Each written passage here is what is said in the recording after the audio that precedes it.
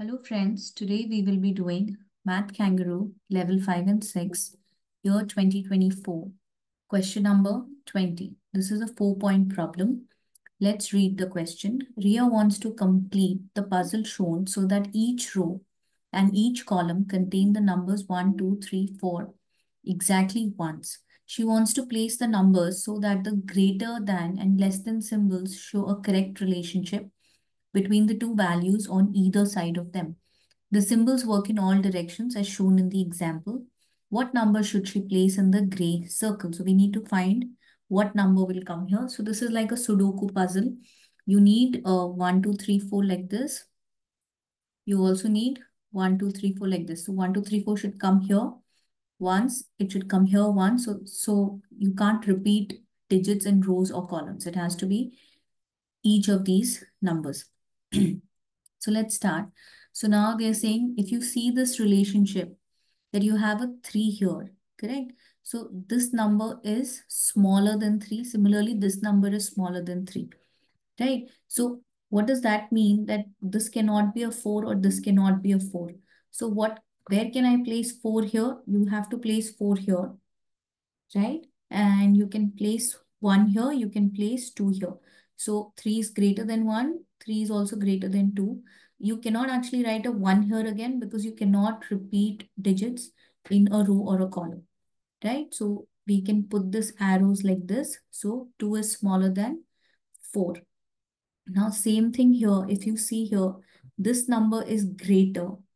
So, so here you have to put a 1 because you can't put a, like you can't put a 1 here let's just redo that. So if you put a 1 here, then, uh, you know, 1 is not greater than 2. And uh, so this will not meet the condition. So you have to put a 2 here. You have to put a 1 here. Okay, so now uh, you have a 2, 1. And uh, so then we need to put, now you cannot put a 4 here because 4 is already here. So what number will I put here? I'll put a 3 here and I'll put a 4 here. Correct? So now 3 is greater than 1 and 4 is greater than 2. Right? So we have filled up these. Now, if you see here, now, uh, you know, you cannot place a 2 here. You cannot place a 2 here. Okay? And uh, so let's just see what can be placed here. Now, uh, 3 is already here. Okay, and you cannot place a 3 here. So let's place a 3 here. So that means 3 is greater. This is greater. So if 3 comes here, 2 will come here. Right? So now since 2 is here, okay and 2 is here 2 is here. So you cannot place 2 here because 2 cannot repeat here it cannot repeat here it cannot repeat here. So the only place where 2 will fit is this right? So you place 2 here.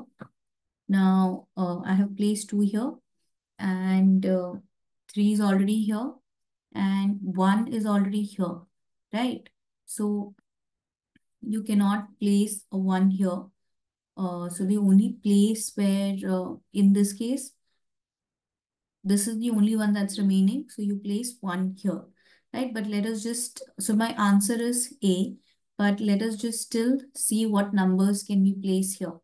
Now 2 is already placed here, 2 is placed here, and 2 is placed here. So uh, that gets done.